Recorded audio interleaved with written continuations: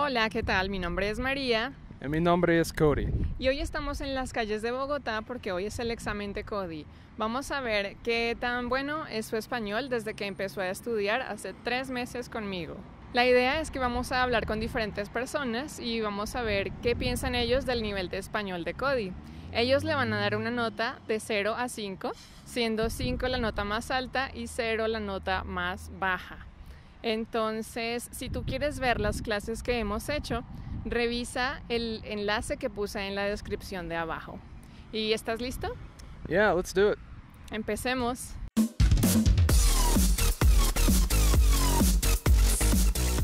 How are you feeling, Cody? Uh, I'm a little nervous. Uh, we came out here yesterday and I actually got really sunburnt. That's why I'm wearing the hat. But uh, yeah, I'm a little nervous. We'll see how it goes though. But I've got a good teacher, so uh, I think it's going to be okay. So the first test Cody had to do was to introduce himself to a stranger. How did it go? Uh, well, so story behind this is the first one we did was pretty bad, which is the one you're going to see, because I was really, really nervous. We did another one, and actually I did a lot better, but we forgot to hit record on the video. It's at the end if you want to check it out and listen, because that one I did really well and didn't sound so much so like an idiot. But I think I did okay. Um, I got asked a few questions I didn't really understand, but I managed to stumble my way through it. Let's watch. Hola, ¿cómo estás? Hola, bien, ¿cómo estás? Bien, gracias. Ah, ¿Cómo se llama? José, Me llamo Cody. Ah, ¿Cuál es tu ah, música favorita? me gusta el vallenato mucho. ¿Y la tuya? Um, me gusta, mi, mi, música favorita es electrónica. ¿Electrónica? Sí, ¡Wow! ¡Súper! ¿Y tu comida favorita cuál es? Um, mi favorita comida es, um, no sé, um, arroz. Ah, ¿Cuál es tu comida favorita? El pescado. Me encanta el pescado. ¿Y dónde vives? Ah, vivo en ah, Nashville. ¿Y tú dónde vives? En Bogotá. Ah, bueno. ¿Y qué haces de pasatiempo? Ooh. Um, me, oof, I don't know that one. Uh, mm, me gusta, me gusta ver videos. Ah, Ok, videos. Bien, bien. Sí, qué bueno. Um, ah, no más. So after this test, I think you did very well in general, but obviously you had some mistakes, yes? So the first mistake you made was well, it's not really a mistake, but it's something that anybody can anybody who's learning a language can easily do, especially in Spanish, because we have the difference between formal you and informal you. So you started saying uh, the informal you. You asked him, ¿Cómo estás? That's informal. And then with the next question, you asked, ¿Cómo se llama? That's formal. So you went from formal to informal. Which, I mean, it's okay because you're learning Spanish and everything, but it sounds weird when you're actually speaking to a person. So try to stick. If you're speaking with, um, with like the formal type of language, stick with it. Or if you're using the informal one, stick with it. Okay, don't don't jump from one to it to the other. That sounds weird. Okay, the other little mistake you made is uh, mi música favorita es need to switch it, yeah. no no. Mi música favorita es electrónica. Little mistake. You were missing the article. Mi música favorita es la electrónica. La salsa, la bachata. I don't know. Okay? Okay. And the other little little mistake was mi favorita comida. Mi comida favorita. Sí. It's not arroz, pero. nah. I was nervous, so that was the first thing that came out. Yeah, so in Spanish, uh, it's the opposite of English. So you don't say my favorite food. You will say mi comida favorita, my food favorite. Okay, something like. Okay, and well, those are the little three mistakes you made. And then he, uh, the other guy, he mentioned a word. He said pasatiempo. ¿Qué es pasatiempo? So that's uh, what do you do to pass the time? I knew that, but I wasn't sure how to answer the question. Well, pasatiempo is actually hobby. Oh well, there you go. I'm What's wrong. your hobby? You didn't know that word, Okay. but but you managed it very well. You Yeah. you responded, you answered. So that was cool. And so we also actually ended up not recording the grade he gave me. Um, it's in the other video, but what grade would you give me? Well, taking into account all the, all those little mistakes. ¿Cuál es mi nota? ¿Cuál es tu nota? Mm, I would actually give you a four because you managed to introduce yourself and ask questions, uh, ask and answer questions to a stranger, and that's actually very good. You you gotta communicate, you know, and you were able to communicate and be understood, and that's a big deal for a basic student. Okay. So good job, four. Okay, so up next, it's going to be um, big numbers like prices and things like that. So in this uh, next video, um, somebody's asking me prices in a sales paper. And yeah, anything else? Nothing. Let's watch. All right. Hola Cody, ¿cómo estás? Bien, bien. ¿Cómo estás? Bien, gracias. Eh, ¿Me podrías hacer un favor? Sí, sí. Mira, ¿me puedes ayudar a decirme qué precio tiene este aceite gourmet?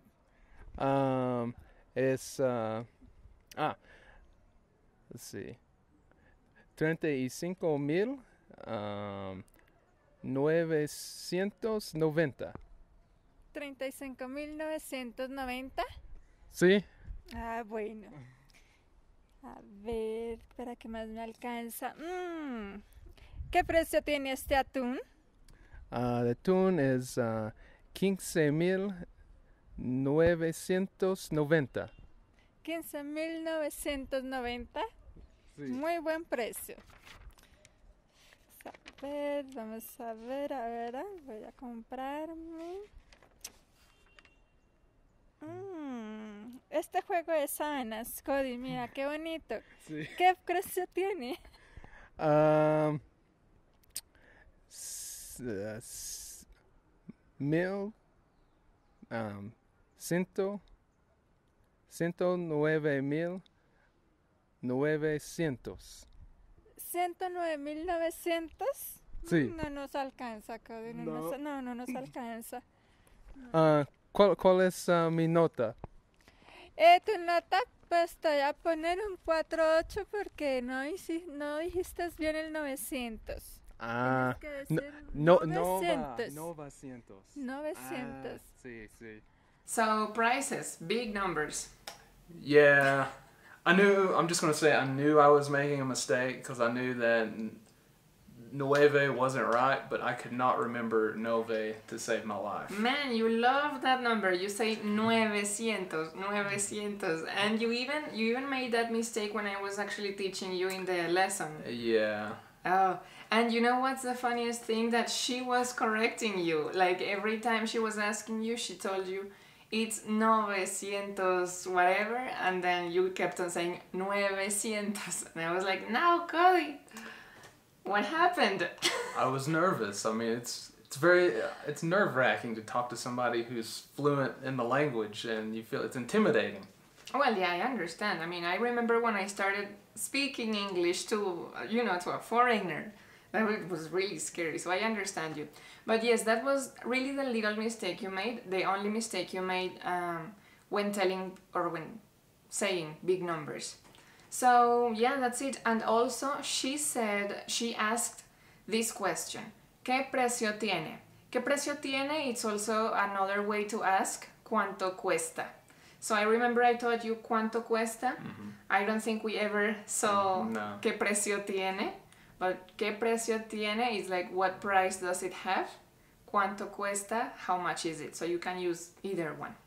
Okay, so next up is going to be uh, a lot of reading, like signs, and uh, also reading like uh, little sections out of a book. So uh, let's take a look at that now. Let's watch. So now let's try reading another sign here. Uh, we have a uh, a warning sign. It looks like so. It's Señor visitante, por favor, cierra su vehículo y active su alarma. El centro comercial no se hace responsable por hurto y o pérdida uh, de objetos en esta zona. Atención administración.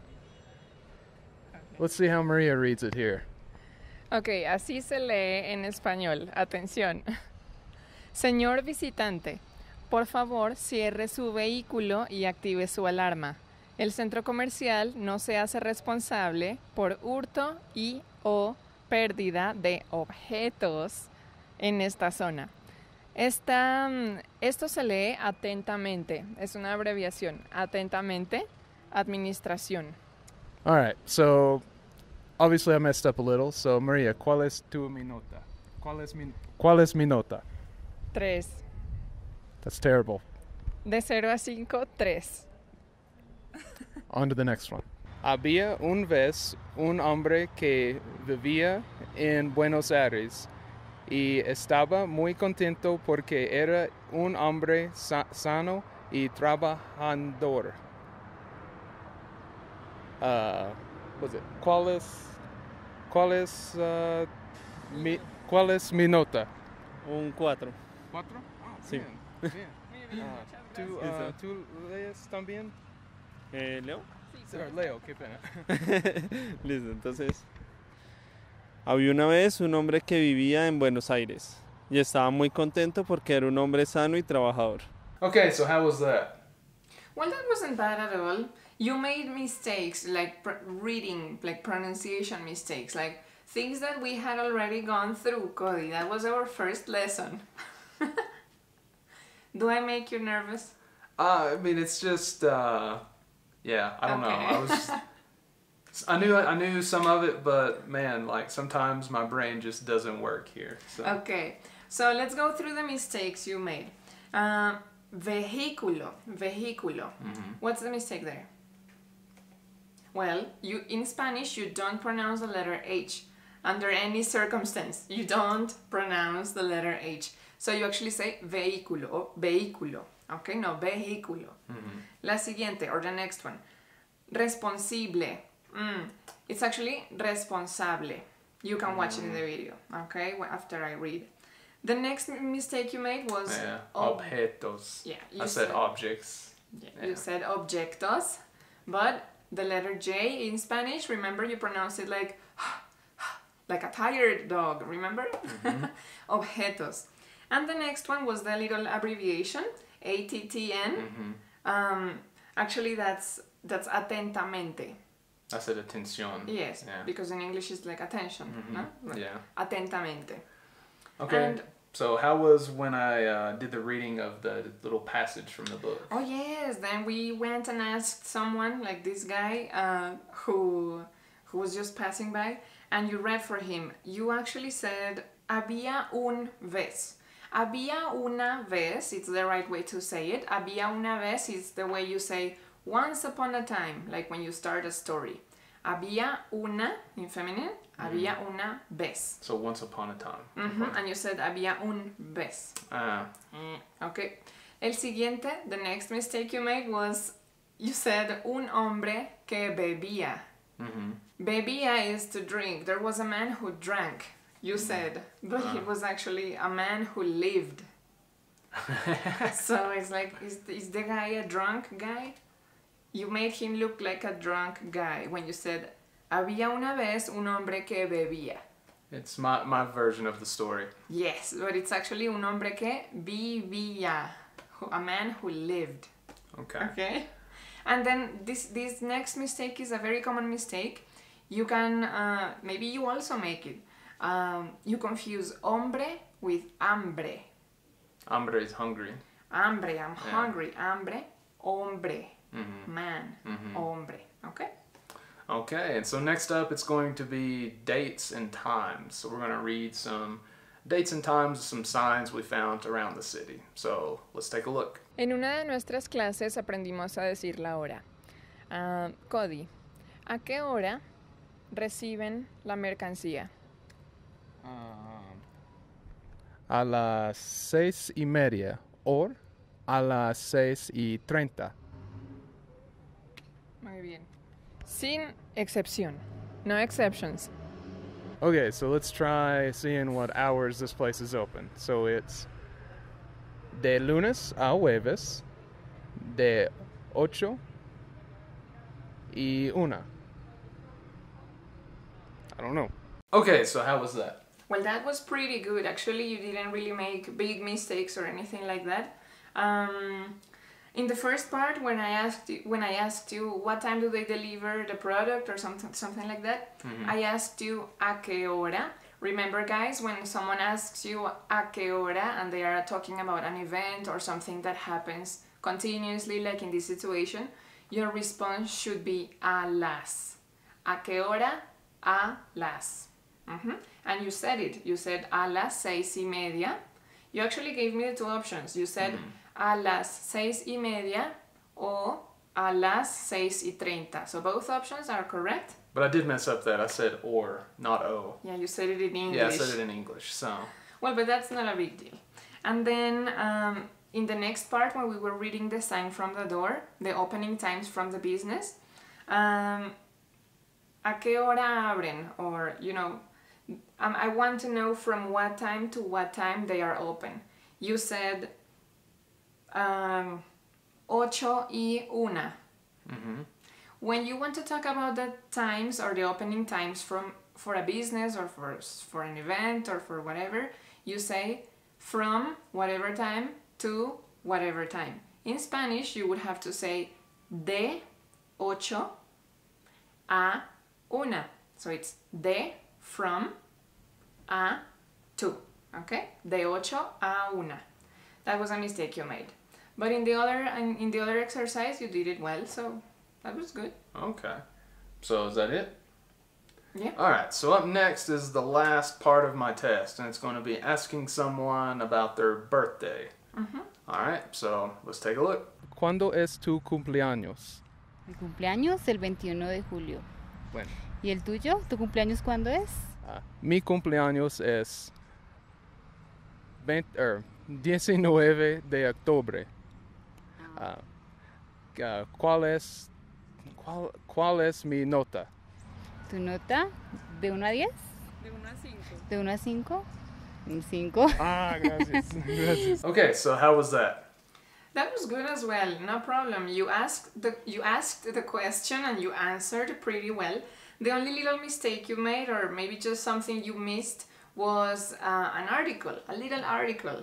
When someone asks you for your birthday, you need to say, uh, "Mi cumpleaños es el It's el. el 2 de enero, Dece- el okay. de octubre.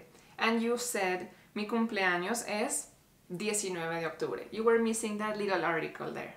Ah, okay. I also almost said the wrong day as well. I got confused. And I had a lot of trouble with this ¿Cuál es mi nota? That was totally new for me, and I kept forgetting it, so that's why you see me struggling so much whenever I had to ask them, because I was trying to think of what I actually had to say for the questions. And then when it was done, I was like, oh man, what- was that word, that phrase I had to say? So, anyway, But the lady was very generous. She gave you a 5. yes, so Mm, I would have given you a 4, 4.5. you're a tough teacher. Yes. Okay, let's uh, wrap it up. Maria, um, tell me, what do you think? How, how, how do you think I did overall? Well, I'm gonna give you my real opinion, my honest opinion. I think you did very well. Because for any language learner, one of the biggest fears is to actually speak. And not even to speak, to actually speak to a native speaker of the language they are learning. That's really scary. Yeah. So that's a big deal, and to me, you did very well.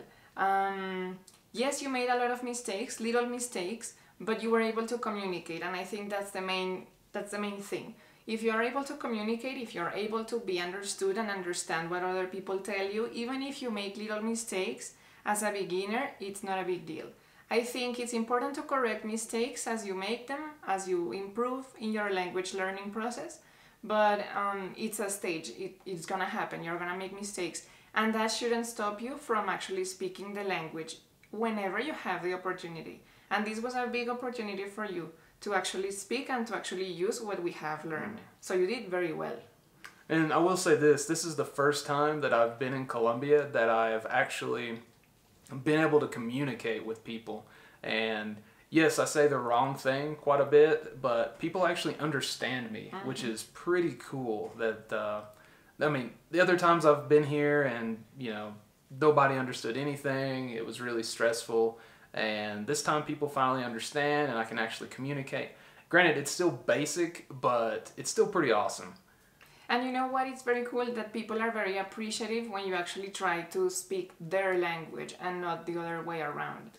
Like when people actually see you making an effort, at least here in Colombia, to speak Spanish, they help you and they, they make an effort to understand you and talk to you. And actually, they actually teach you words. So that's pretty cool. Yeah, people have been very forgiving. Like when I try to speak to them and they don't understand what I'm saying, that or if they're trying to tell me something and I don't understand, they'll break it down into smaller words that maybe I do know, and it makes it way easier for me to kind of figure out what's going on. So that's been pretty cool as well. So, what grade do you think you deserve? Um, I think I'm a solid three. I would think uh, out of five. I mean, I feel like I'm truly basic now, and it's really surprising how much I do understand now. Uh, it's pretty cool. You know, it's crazy to think how hard we are with with ourselves. You said you would gi- you would give yourself a three. I would give you like a four. Wow. Well, that, you're very generous. Thank you. So hey, in in the comments, let me know um, what you think of my Spanish. What, what would you give me? Zero to, to five. Be nice. Now let's talk about. So we've got some cool stuff coming up. Yes. Um, we actually interviewed some people, a bunch of people, so that's coming up. So it's going to be pretty cool. Um, we interviewed uh, a group of people from Chile. Yes. That's yeah, they're actually uh, traveling around where all Latin America. like all over Latin America. And you know what? It's very interesting. I really like this interview because a lot of people say that the Chilean accent is the hardest one to understand. But I am I am really excited to show you that interview and see what, what you guys think about their accent and about the way they speak Spanish. So I don't know. That's So- gonna be interesting. Yeah, and it's five different people, so you'll get like a good variety of you know different you know men, women, you know kind of accents um, or Yeah. how they talk, I guess. Yeah. Uh, also, we've interviewed a few more people from Colombia, and uh, yeah, so that's all coming in the future. And then when we get back to the states, it's going to be the second, I guess we'll call it season of Zero to Fluency, which is going to be all in Spanish. Yes, no more English. No more English. so, anyway, anything else? That's it. All right. So until the next video. Ciao. Ciao. Hola, ¿cómo estás? Hola, bien. ¿Y tú cómo estás? Ah, bien, gracias. Ah, ¿Cómo se llama? José Gómez. ¿Y tú cómo te llamas? Ah, me llamo Cody. Ah, ¿Cuál es tu color favorito? El negro. ¿Y tu color favorito cuál es? Ah, mi color favorito es ah, azul. Ah, ¿Cuál es ah, tu música favorita? Ah, el vallenato, me encanta, claro. Y vos por ser gringo, me imagino que... Ah, mi, ah, mi música favorito es ah, electrónica. Electrónico. Ah, Wow. electrónica. Bien. Sí, sí, sí. ¿Y dónde vives? Ah, vivo en ah, Nashville. Ah, ¿Y tú dónde vives? Yo vivo en Bogotá. Nashville, ¿frío o calor? Ah, Nashville, Nashville es ah, color y poco frío también. Ah, sí. ¿Cuál es ah, mi nota? Bueno, estuviste bien. Voy a darte un 4-5. Ah, gracias, gracias, gracias. Bien. Ok, chao. Chao.